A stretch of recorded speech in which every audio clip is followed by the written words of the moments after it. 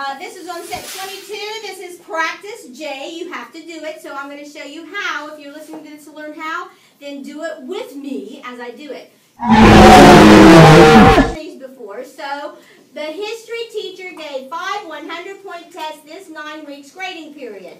250 points were possible on homework. F. Okay, the first thing you have to do is figure out how many points were possible for the entire nine weeks.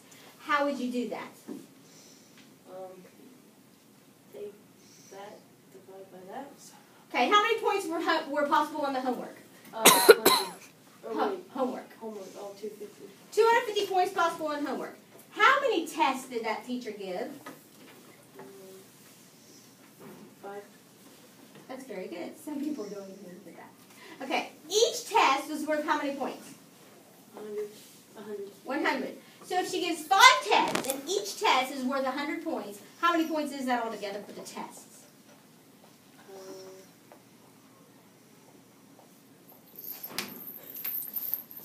Test 1, test 2, test 3, test 4, test 5. There's five tests. It's 100 points on this test, 100 points on this test, 100 points possible on that one, 100 on that one, and 100 on that one. How many points is that altogether? five hundred. Yeah. So 500 points are possible for just the test. How many possible points for the homework? Two hundred and fifty. Take over, put 250 there, put them all together. How many points possible all together? Okay. Um, Look over here to help you. Yes. So erase that and just write 750. no, erase all of that and just put 750. 750 points possible for the entire nine weeks. That's first thing you do is figure out how many points are possible for the entire nine weeks. Okay. Then there's a chart. I forgot to put the chart. There's a chart that says anybody that has a 94% up to 100%, they are going to get an A. Anybody that has an 85 up to a 93, they're going to get a B. Anybody that has a 70 up to 84 is going to get a C. 60 to 69 is a D. You look at that chart. Say you want an A. You have to have at least 94% of those points. So write 94% of in front of that. Yes.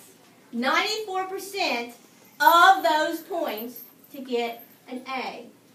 Of. 94% of. Step over here so they can see. Of means multiply.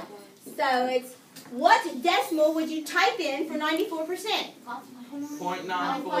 Point nine four. Calculator man. Point nine four times 750 is 705. So, use this one, I think it's, you can see better. Right, 705 up to, have you done these before? Okay, I'll start it out for you. So you start a chart and write anybody that has 705 points up to 750 points, they are going to get an A. Now under the A, put a B. Now, 705, what is the highest B? Seven oh five. 705 points, that person's going to get an A. Oh, well, seven oh four. Yes. So put 704 right there. And then hyphen goes down to, and to get this next number, we have to look at our chart and say the lowest B is 85%. So we take, this time, take 85% of 750, the original 750 points. Would you do punch that and tell us what you get? Whatever he gets, you're going to put it right there.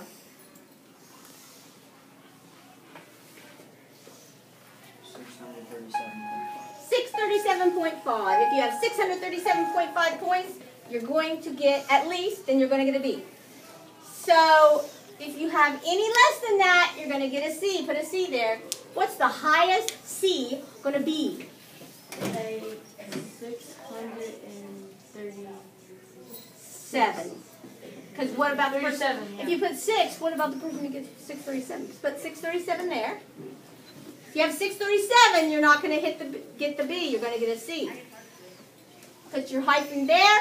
Now, what's the lowest C? We look at the chart. The lowest C is 70%, so this time you take 70% of the original 750 points. Five hundred twenty-five. How much?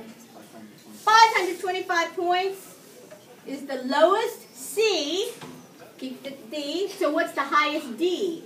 Okay, five hundred and twenty-four. Good. You got the idea. 524. Down to, now let's see if you get the idea. How can I get this number right here? Um, you sixty percent of About 60% of the original 750 points. 450 points. So the F's, let's make an F column. Anybody that has zero points, make your hyphen there. Zero points up to what will get an F? And F. No, the F goes under the D. And I squeeze it in there. And add uh, uh, four. Uh, forty-nine. Yes, from zero up to 449 is your F's. And that's how you do that problem. It's rather involved. Okay, we got it. Done.